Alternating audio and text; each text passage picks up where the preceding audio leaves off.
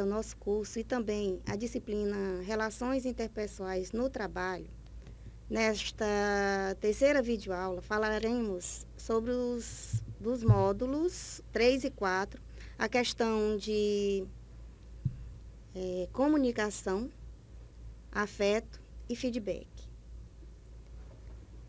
Portanto, iniciaremos a aula hoje falando sobre comunicação. O que é, que é isso? Comunicação se origina do latim comunicare e significa colocar algo em comum, partilhar.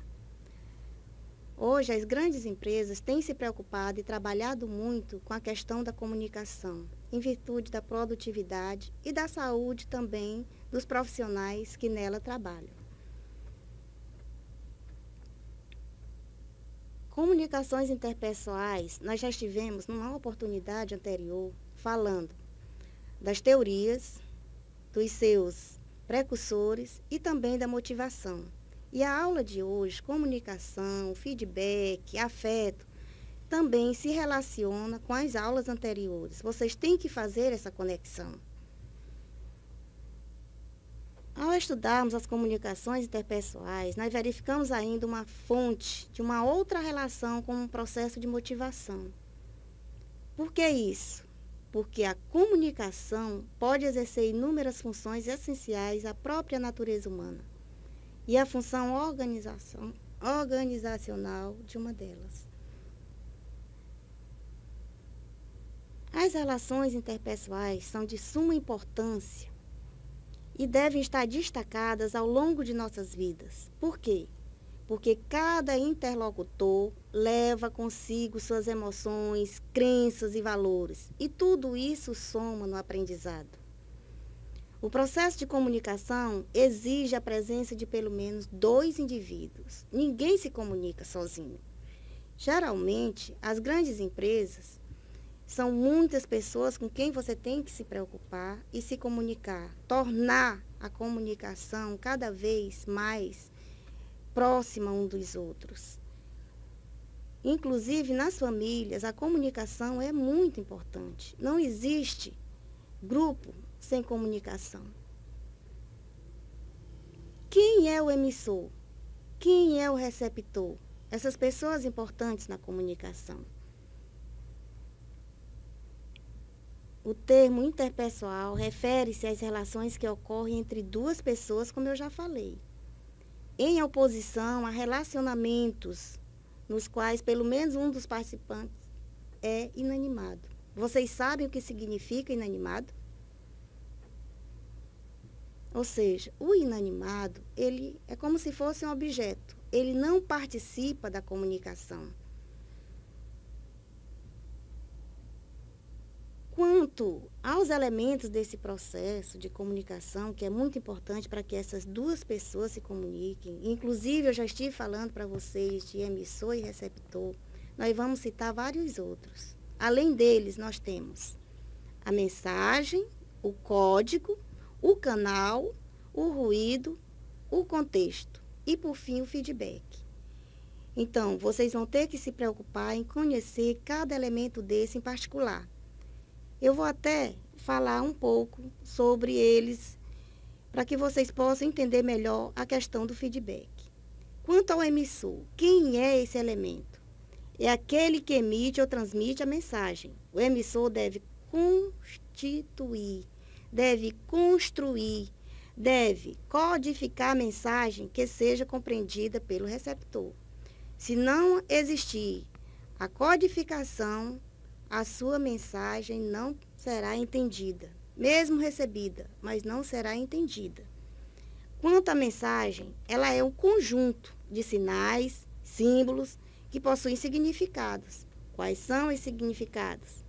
São aqueles emitidos pelo emissor, ou seja, o conteúdo da comunicação. É o que o emissor tenta passar para o seu receptor. O código. O que, que é isso? O código é aquele conjunto de sinais que faz com que as pessoas entendam a mensagem. E o canal refere-se ao meio por onde a mensagem caminha, do emissor ao receptor. Nós temos um exemplo nesse curso e vocês participam todos os dias do ETEC Brasil. E nós estamos, nesse momento, utilizando um canal para que vocês possam entender a nossa comunicação. Vocês sabem me dizer qual é o canal? O canal telepresencial. Vocês, a partir daí, recebem a mensagem e tentam entender. Se eu não conseguir passar essa mensagem para vocês, conforme ela deva ser emitida, a mensagem ela será truncada. Não haverá comunicação. Se vocês não entenderem o que eu estou tentando transmitir para vocês. O ruído. O que é, que é o ruído? O ruído é aquilo que possa, de alguma forma, prejudicar o processo da comunicação. É um desconforto da mensagem. O receptor, se ele não conseguir entender por conta de algum bloqueio na transmissão da mensagem, isso é chamado de ruído. É aquilo que não permite com que a mensagem seja recebida da forma que ela deve ser recebida. A mensagem correta. Porque às vezes você até passa várias mensagens ou uma mensagem e se você não conseguir entender exatamente o que o emissor está te repassando, o receptor não conseguir, é porque, de certa forma, existiu um bloqueio. Esse bloqueio se chama ruído. O que é o contexto desta comunicação? O contexto dessa comunicação é o meio que permeia ou influencia na comunicação. É o que te faz receber esta mensagem. E o feedback? Ora, eu tenho um emissor, eu tenho uma mensagem, eu tenho um código, eu tenho um canal, tenho um ruído e um contexto. E esses elementos todos, eles têm que chegarem no receptor a contento. Eles têm que estarem aplicados de forma correta para que haja um entendimento da mensagem aquilo que eu falo. E você entende, na comunicação é o que chamamos de feedback. Portanto, feedback refere-se ao retorno ou ainda à resposta dada a determinada mensagem, seja positiva, seja negativa. Ou seja, feedback é o entendimento da mensagem recebida. Se você não entender o que o emissor te passou a mensagem passada pelo receptor, então não houve feedback, não houve entendimento. Ok, pessoal? Estou passando para vocês também esses elementos da forma como eu tentei explicar para vocês. Fiz um gráfico que depois vocês vão poder observar isso com mais é, é tempo, de forma mais analítica. O emissor, a mensagem, o receptor, e entre o feedback e esses elementos, vocês vão encontrar o ruído. Então, quando isso acontece, não haverá entendimento da mensagem. E existe mais um outro fator, que é o meio ambiente, que também influencia no recebimento dessa mensagem. O meio que você se encontra, dependendo de como ele esteja, de forma barulhenta, silencioso, é como você vai receber a mensagem. O processo de comunicação. O que nós temos no processo de comunicação? Como funciona o processo de comunicação? Existem as barreiras e existem também outras formas de comunicação, que é a verbal e a não verbal. O que, que é a barreira na comunicação? São códigos inadequados utilizados para se expressar, para fazer com que o receptor entenda a mensagem. E o que, que é a comunicação verbal e a não verbal. A comunicação verbal é entendida como sendo as pessoas se comunicando através da fala. Nesse momento, nós estamos também nos comunicando de forma verbal. E a não verbal ela é feita através de sinais. Sejam eles gráficos, sejam eles é, é, outras formas de sinais. É como vou dizer para vocês, é, é expressões faciais, posturas, silêncio, ou ainda pela própria roupa, a forma como nos vestimos. Também é uma forma de comunicação. Existe também um outro elemento chamado formação neurolinguística da comunicação. O que, que é isso? Essa programação neurolinguística da comunicação, conhecida por PNL. Ela se refere à forma de comunicação ou à conduta, a maneira como o programa de comunicação é desenvolvido. E para isso, vocês vão é, é, é, estudar, para tentar entender essa forma, esse elemento de comunicação, dois precursores, a opinião de dois precursores que eu vou deixar com vocês, para que vocês possam pesquisar essa forma de comunicação. Richard Blander e John Glinder. Eles ensinam duas novas formas de comunicação. Isso nos remete, o que acabamos de ver, nos remete à questão já estudada anteriormente, a motivação, como já falei antes. Porque, segundo Steve Andreas, parte da motivação deve-se a princípios e técnicas. Quer dizer, nós podemos, de alguma forma, nos aperfeiçoar no item comunicação. Porque existem técnicas que nos fazem, que nos levam a nos, a, a nos comunicarmos melhor. Depende de cada indivíduo encontrar a sua própria forma de se, se comunicar. Quais são os benefícios da aplicação da comunicação com relação ao feedback? É o entendimento da mensagem. Como eu falei para vocês, Nesta videoaula, nós íamos falar também, além da comunicação, dos afetos, que tem tudo a ver com a comunicação, que são as emoções, os sentimentos. E o que são essas emoções?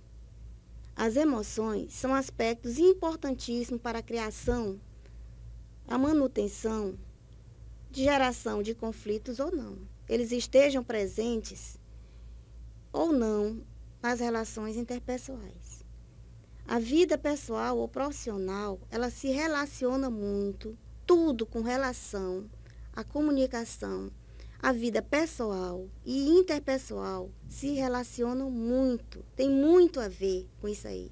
Dependendo do estado de espírito, dependendo de como você se encontre, pode ser o nosso tipo de mensagem, positiva ou negativa. Nós também desenvolvemos, para que aconteça uma boa comunicação, algumas aptidões. Nós lembram que nós falamos das estratégias? Pois é. Além das estratégias, daquelas fórmulas que cada um de nós encontra para se comunicar melhor no dia a dia, dependendo do nosso estado de espírito, porque nós vivemos em meios diferentes, embora no mesmo ambiente seja é, é, um contexto igual, nós temos formas diferentes de ver as coisas, de nos comportarmos. Então, nós temos aptidões e temos também habilidades quanto à inteligência emocional. Saber lidar com essas situações para poder se comunicar. Então, o autocontrole é de suma importância. O que é, que é o autocontrole? O autocontrole é a capacidade de controlar ou redirecionar os nossos impulsos, os estados de espíritos perturbadores, a propensão em julgar e pensar antes de agir. É o bom senso. Estamos falando de bom senso.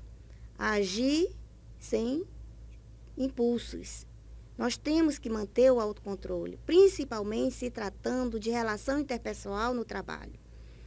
Temos também a automotivação dentro dessas aptidões ou habilidades, que é a propensão de perseguir objetivos com energias e persistência, repetindo, paixão pelo trabalho, por motivos que não sejam só dinheiro ou status.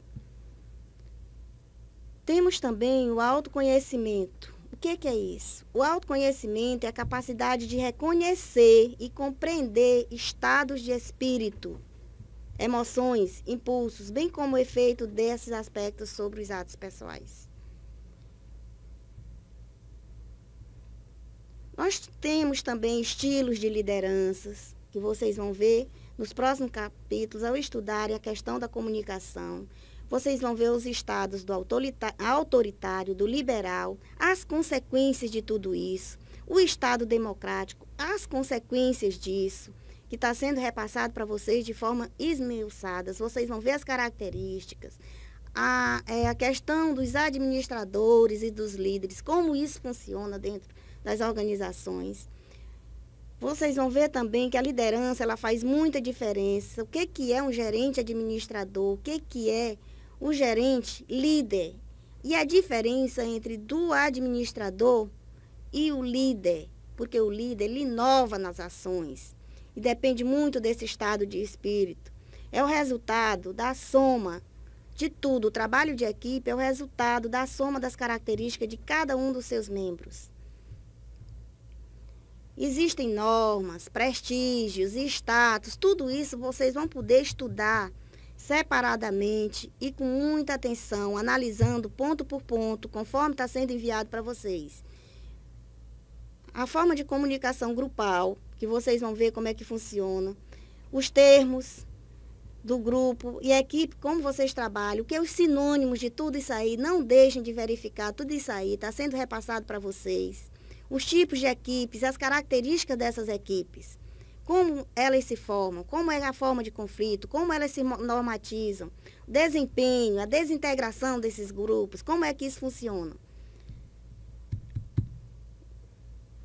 Então, os estilos e características dessas capacidades de negociação das partes, isso é muito importante. Peço para vocês que vejam como isso funciona, a competição, a busca pela satisfação dos seus interesses, a independentemente do impacto que isto possa causar na outra pessoa.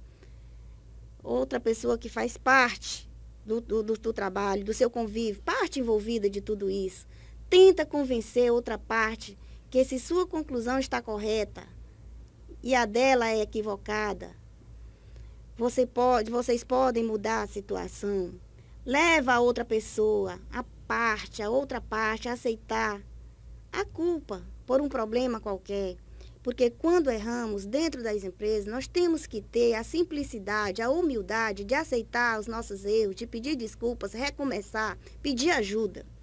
Isso é viver em organização, é viver é, em grupo e equipe, considerando sempre a importância das relações interpessoais, sejam elas no trabalho, sejam elas é, é, no clube, em casa. Isso é muito importante. Nós não podemos viver sem comunicação.